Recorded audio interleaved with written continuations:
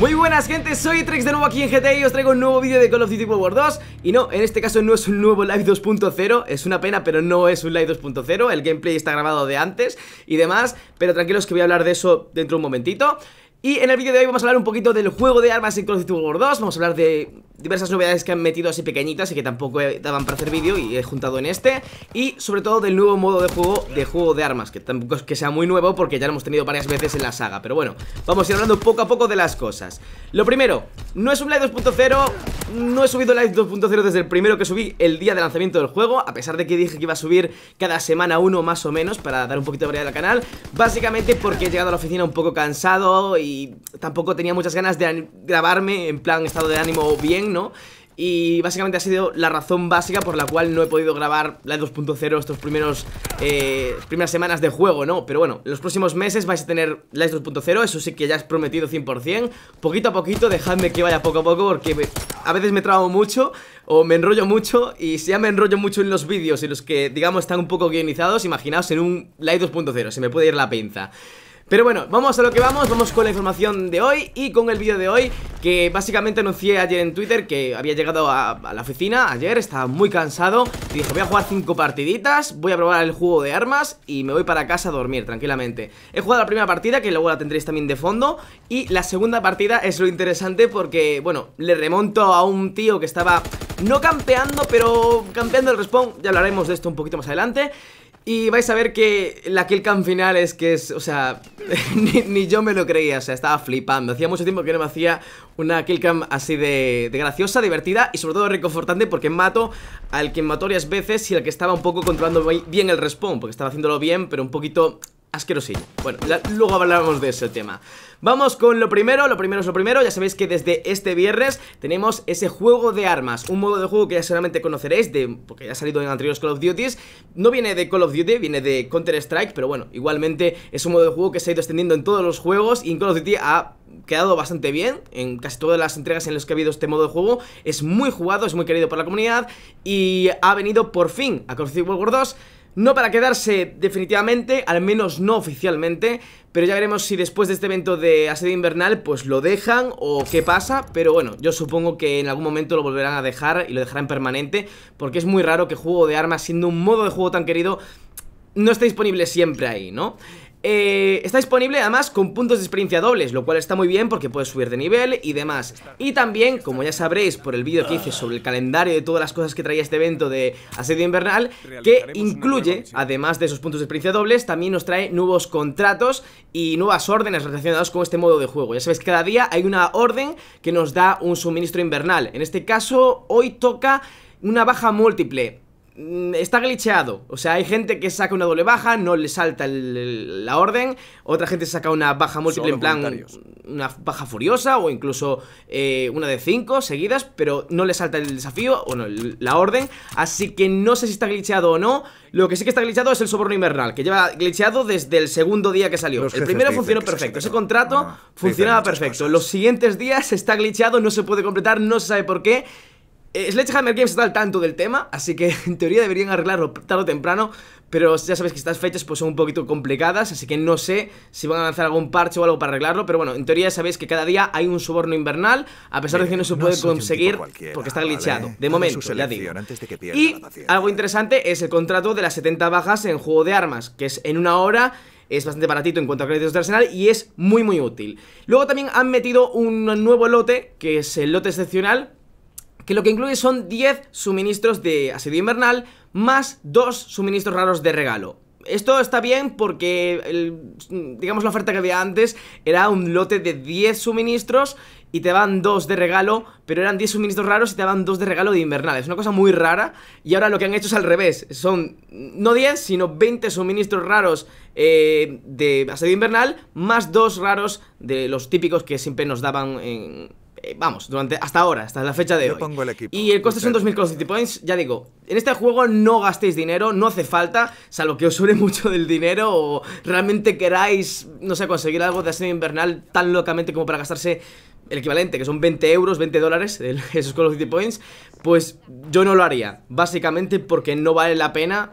eh, sobre todo en este juego, ya digo, porque conseguir suministros en este juego es muy fácil. Y eso me recuerda que tengo que subir la guía de suministros y qué mejor momento que ahora para concienciar a la gente de que no gaste Call of Duty Points. Así que a ver si estos próximos días o algunos de los días que no estaré aquí porque estaré pues en otra parte celebrando Navidad y demás, os subiré ese vídeo de guía de suministros, cómo conseguirlos, todas las maneras y conseguirlos más rápido. Porque si fijáis, si os fijáis en mi lista de suministros, tengo como casi 500 ahora mismo. O sea, 500 suministros entre los normales, los raros y los de asedio invernal. Una auténtica locura.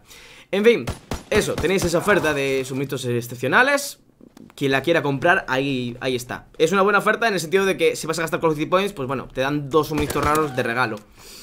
O para aquella gente que sea como yo, en plan youtuber, y quiera gastar dinero, pues en lugar de ir comprando los suministros invernales uno a uno, que es un coñazo, pues puedes comprar de 10 en 10 con ese lote y encima pues os dan dos gratis. Pero bueno, por lo demás, nada. Olvidaos de gastar of Duty Points. Ya digo, en este juego es muy fácil conseguir esos suministros totalmente gratis, sin ningún tipo de problema. Pero bueno, lo importante por lo que estamos aquí, sobre todo, es por ese modo de juego de juego de armas Que, ya digo, han implementado con una lista de partidas propia, con puntos de experiencia dobles, lo cual está muy muy bien. Pero al mismo tiempo está mal porque han quitado la lista de partidas de Winter Carentan y, a ver, no es que esté mal eso porque Winter Carentan como mapa no es que me guste mucho, creo que no le gusta a nadie, la verdad. Es un mapa bastante lento, bastante Camperil, eh, no sé, defender posiciones dentro de las casas no me gusta mucho ese tema Entonces tampoco es que sea una, una mala noticia Pero lo que es mala noticia es que quiten esa lista de partidas porque te tocaba Winter Carentan siempre Y para los desafíos semanales que te piden que mates en mapas invernales pues, pues era más fácil, ¿no? Entrabas en esa lista de partidas y te sacabas las vagas, completabas el desafío semanal y ya está, te ibas eh, pero ahora es más complicado porque tienes que tener la suerte de que te toque en un mapa invernal. Eh, eso es lo único malo. Lo bueno, ya digo, puntos de experiencia dobles, este modo de juego que vuelve, que la verdad es que está muy muy bien. Eh, tiene un par de fallos en el sentido de que los spawns están un poco rotos. Obviamente los mapas no es que sean muy grandes, eso es, bueno, ¿no? Pero los spawns son como en contra todos. Eh, de hecho son los mismos spawns que contra todos. Entonces son muy cercanos unos de otros. Eh, te pueden quitar las bajas muy falsamente A veces pues te reaparece muy muy cerca En el sentido de que reapareces y tienes el, al tío delante Dependiendo del mapa Tiene unos spawns un poco raros Pero el modo de juego en sí es divertido A mí no me ha, digamos, disgustado para nada y lo recomiendo mucho, sobre todo porque ahora hay puntos de experiencia dobles y sobre todo por algo muy importante y es que las partidas son increíblemente rápidas. He jugado partidas que me han durado dos minutos en este modo de juego y eso es genial porque cuanto menos duren las partidas, antes consigues la bonificación por ganarla, que son de 2000 puntos de experiencia, lo cual está muy muy bien para subir de nivel. Ya encima hay puntos dobles para encima acabarlas antes y conseguir antes esa experiencia de bonificación de partida al finalizarla. Eh, pero es que además, te digo, son muy rápidas, puedes completar desafíos muy fácilmente.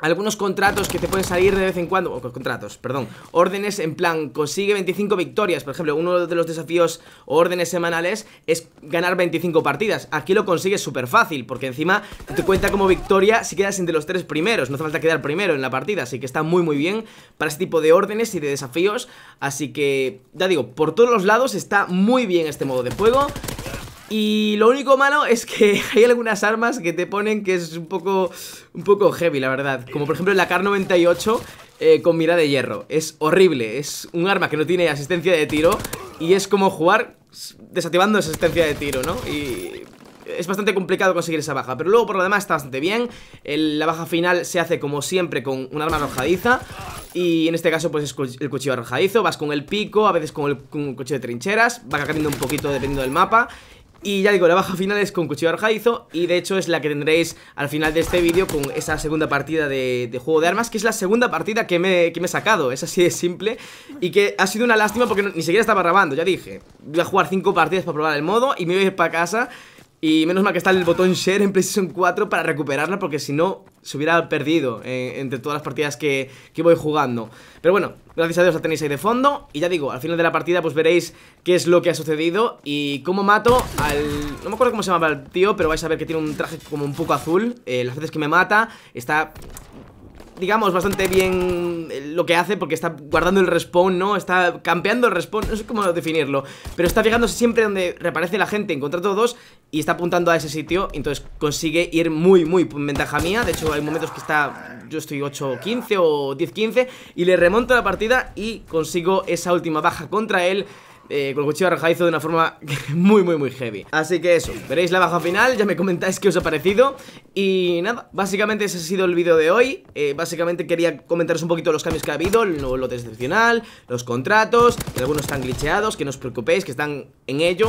Están en ello, no sé cuándo lo van a arreglar, pero están en ello. Saben que existen esos errores en los contratos y las órdenes.